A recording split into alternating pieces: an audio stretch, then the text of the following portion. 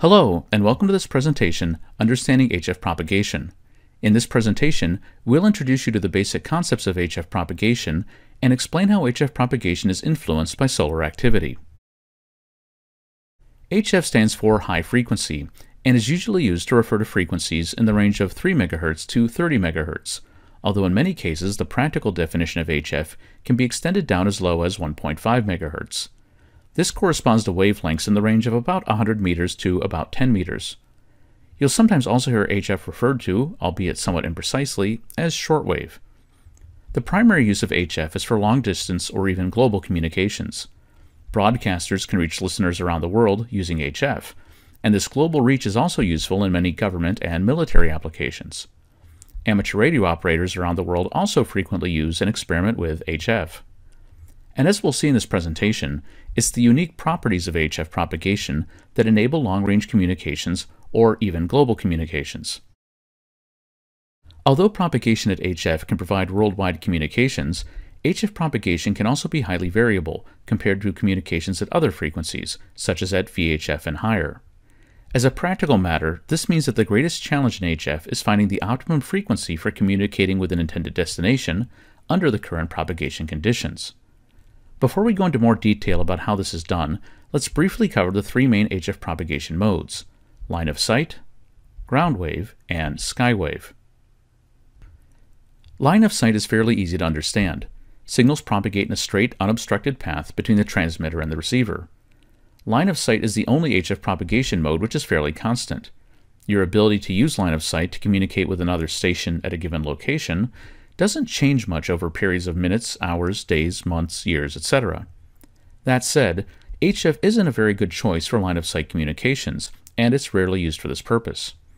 Because of the lower frequencies, HF requires large antennas, and bandwidth is also somewhat limited. There also tends to be much more noise at HF compared to higher frequencies. This can be a problem because the limited bandwidth at HF usually means communications are carried out over AM or single sideband, which are much more sensitive to noise than wider bandwidth FM. For these reasons, most line of sight communications are carried out at VHF or higher, not at HF. If we don't have a direct line of sight to another station, ground wave is a possible solution. Ground wave, sometimes called surface wave, involves signals propagating along the surface of the Earth. Interaction between the lower part of the transmitted wavefront and the Earth's surface causes the wave to tilt forward, allowing the signal to follow the curvature of the Earth, sometimes well beyond line of sight.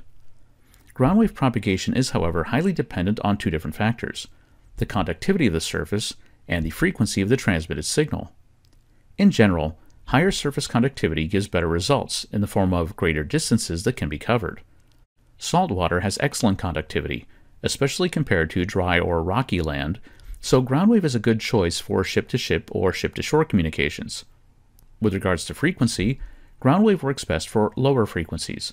For example, the theoretical range of a 150 watt transmitter at 7 MHz is 35 kilometers over land and close to 250 kilometers over the sea.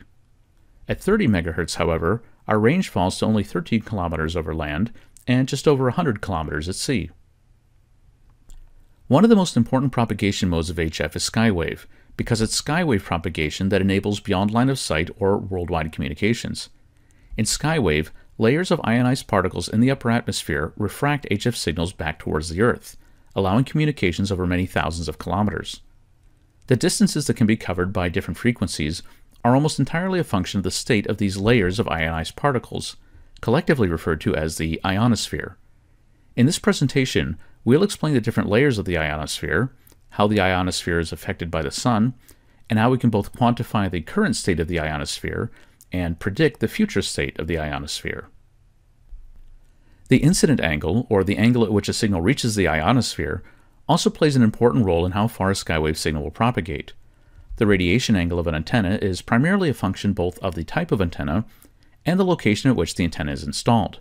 Higher placement of an antenna usually lowers the radiation and incident angles and generally speaking, the lower the incident angle, the greater the distance that is covered by skywave propagation. Note, however, that so-called skip zones may be created depending on radiation or incident angle. In these zones, HF signals can't be received either via skywave or via groundwave propagation. In order to understand skywave propagation, we should start by explaining how ionization occurs in the Earth's atmosphere. When ultraviolet energy or radiation from the sun strikes gas atoms or molecules in the atmosphere, this energy can cause electrons to become detached. The result is a positive ion and, more importantly, a free electron. The Earth's magnetic field keeps these free electrons roughly in place. The level of ionization and the number of free electrons increases as the amount of sunlight striking a given part of the atmosphere increases. When that part of the atmosphere rotates away from the sun, that is, at night, the energy is removed and the ions recombine to form electrically neutral atoms or molecules. Note that recombination is a slower process than ionization. Atmospheric ionization increases rapidly at dawn, but decreases less rapidly after dark. As mentioned earlier, the region of the Earth's atmosphere that undergoes this ionization is collectively called the ionosphere. The level or density of ionization in the ionosphere is different at different altitudes, and areas with ionization peaks are often grouped into so called layers or regions. The layers that are important for HF propagation are the D layer from 60 to 100 kilometers, the E layer from 100 to 125 kilometers, and the F layer or layers from about 200 to 275 kilometers. Note that these are only rough numbers. The thickness and altitude of ionospheric layers is never constant. The reason for defining these different layers is that each of these layers will refract and or absorb HF signals in different ways. It's important to note that the ionosphere does not reflect signals, but rather refracts signals. The different electron densities at different altitudes is what makes this refraction possible. Let's start with the lowest level of the ionosphere, the D layer. The D layer only exists during daytime hours and disappears at night. Although the D layer is ionized by solar radiation, the density of free electrons in the D layer is too low to effectively refract HF signals, and therefore the D layer cannot be used for skywave propagation. Instead, the D layer acts as an absorber of HF signals. This absorption is higher for lower frequency signals than for higher frequency signals. Absorption also increases with increasing ionization, so absorption is usually highest at midday. For these reasons, the properties of D-layer absorption mean that higher frequency HF signals work better during the daytime, whereas lower frequency signals work better at night, after this layer has disappeared. The next highest layer, the E layer, is the lowest layer of the ionosphere that can refract HF signals back towards the Earth, and is the lowest layer that supports skywave propagation. Compared to the other layers, it's relatively thin, usually around 10 kilometers or so. The E layer is much more dense, that is, ionized, during the day, but unlike the D layer, it doesn't completely disappear at night. Aside from mostly short range daytime communications and a few other special cases, E layer propagation is not commonly found in HF. Note, however, that at VHF, the E layer is very important and supports some rather exotic and less predictable propagation modes, such as sporadic E, that make long distance communication over thousands of kilometers possible, even at the relatively high frequencies of VHF. The F layer is the most important for skywave propagation. During the day, the F layer splits into two sublayers, F1 and F2, which merge back into a single layer again at night. Compared to the D and E layers, the height of the F layers changes considerably based on things such as time of day, season, and solar conditions. More on this shortly. The lower F1 layer primarily supports short to medium distance communications during daylight hours. The F2 layer, on the other hand, is present more or less around the clock. It has the highest altitude and the highest ionization of all the layers, and therefore is responsible for the vast majority of long distance HF communications. The degree to which the different layers of the ionosphere refract and or absorb radio frequency signals is largely a function of that signal's frequency. The general rule for HF skywave communications is to always use the highest possible frequency that will reach a given station or destination. This is called the maximum usable frequency, or MUF. Signals whose frequencies are higher than the MUF will not be refracted by the ionosphere. Usually, the MUF increases with increasing ionization. Another important frequency threshold is something called the lowest usable frequency, or LUF. When the signal frequency is at or below the LUF, communication becomes difficult or impossible due to signal loss or attenuation. So we want to choose a frequency that's somewhere between the LUF and the MUF. There is one very important difference, though, between MUF and LUF. Because the LUF is mostly determined by noise, using higher transmit powers, a better antenna, etc., can improve or lower the LUF. MUF, on the other hand, is entirely a function of the ionosphere. You can't improve or increase the MUF by using more power or a better antenna. The MUF simply is what it is. And as we'll see shortly, if the LUF becomes greater than the MUF, no HF communication is possible. One way to determine the MUF is purely through experimentation, but there are also methods for estimating the MUF using something called the critical frequency. The process for measuring the critical frequency is as follows. Pulses at various frequencies are transmitted vertically by equipment called ionosondes. Depending on the frequency of the pulse, these pulses are returned by different layers of the ionosphere, and we can use the return time to estimate the heights of the different layers. Once we reach a certain frequency, the pulses are not returned by the ionosphere, and instead continue on into space. This is the critical frequency. Critical frequency is a function of both the current ionization level as well as the measurement location. It's measured regularly at hundreds of locations around the world. Mathematically speaking, the maximum usable frequency is the critical frequency divided by the cosine of the angle of incidence. If we send a signal straight up at 90 degrees, MUF and critical frequency are the same. But as a practical matter, the maximum usable frequency is usually estimated at 3 to 5 times the critical frequency. Critical frequency is one way of quantifying the state of the ionosphere, but it is an active test. We transmit signals and measure the return signals. In addition to critical frequency, there are three common passive methods that can be used to quantify the state of the ionosphere. The first of these is sunspot number, which can be used to predict the level of atmospheric ionization. The second is the solar flux index, which is an actual measurement of ionization. There are also two geomagnetic indices, the A index and the K index, which give an indication of the impact of solar particles on the Earth's magnetic field. Taken together, these quantities provide a good indication of the current state of the ionosphere and can be used to predict HF propagation. Let's take a look at each of these three quantities in a bit more detail. Sunspots are, relatively, cooler surface regions of the Sun. Relatively in this case means they have temperatures of about 3000 Kelvin versus the normal 6000 Kelvin seen elsewhere. After they appear, sunspots last between a few days and a few months. Sunspots are associated with powerful magnetic fields and these fields affect how much radiation is given off by the sun. The greater the number of sunspots, the higher the level of solar activity and radiation. And because of this, more sunspots generally means higher atmospheric ionization, a higher MUF, and better overall HF propagation. The quantitative measure of sunspots is sunspot number, which is a daily measurement of sunspots. Note, however, that sunspot number isn't simply a count of the number of sunspots. It also takes into account additional factors like the size and grouping of sunspots. Sunspot numbers are recorded by a number of solar observatories around the world, and sunspot number values range from 0 to a maximum recorded value of about 250. As mentioned a moment ago, more sunspots, or a higher sunspot number, almost always means better HF propagation. It's also worth noting that sunspot data have been collected for almost 400 years, giving us valuable information on how the number of sunspots changes over time and sunspot numbers do change over time. In fact, sunspot activity follows a roughly 11 year solar or sunspot cycle, as shown in this graph. Generally speaking, sunspot numbers are usually around 150 at the peak of a cycle, during which time HF propagation is very good on most frequencies, including higher frequencies. At the bottom or trough of the sunspot cycle, sunspot numbers close to zero, meaning much poorer HF propagation. Given the period of the sunspot cycle, it should be clear that sunspot cycle is only good for predicting long-term HF propagation, that is, in terms of years, and over this time period it is fairly reliable.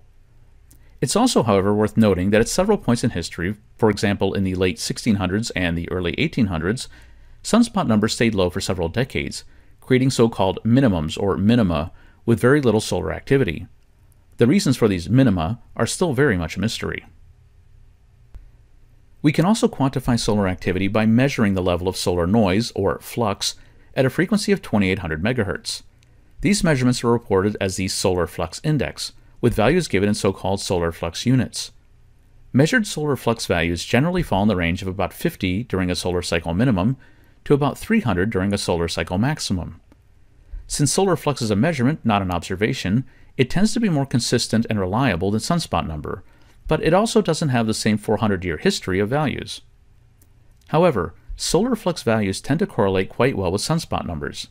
Like sunspot number, higher values of solar flux mean higher maximum usable frequencies and better HF propagation. Sunspot number and solar flux index are valuable measures of longer term variations in solar radiation. The ionosphere is also affected by shorter duration events occurring on the Sun. The most important of these are solar flares, which are a type of eruption on the surface of the Sun. Solar flares cause a rapid rise in both X ray and ultraviolet radiation, as well as the ejection of both low and high energy particles. Solar flares are essentially unpredictable, but they do occur more commonly during peaks in the 11 year sunspot cycle. Solar flares have a significant effect on HF propagation because they can lead to sudden ionospheric disturbances, polar cap absorption, as well as both geomagnetic and ionospheric storms. As the name implies, a sudden ionospheric disturbance is sudden. It occurs about 8.5 minutes after a flare, that is, at the same time the flare becomes visibly detectable on the Earth, and is caused by the arrival of solar radiation. This radiation causes D-layer ionization, and hence D-layer absorption, to increase rapidly, starting at the lower frequencies and moving upwards. The affected frequencies are often almost completely blacked out. Fortunately, a sudden ionospheric disturbance only impacts the sunlit hemisphere and tends to last a relatively short time, typically an hour or so. And in some cases, smaller solar flares can actually enhance HF propagation by increasing ionization at higher frequencies without a corresponding increase in D layer absorption. The next effect of a solar flare is something called polar cap absorption. The high energy particles emitted by a flare reach the Earth several hours later, and the Earth's magnetic field prevents them from entering except at the poles.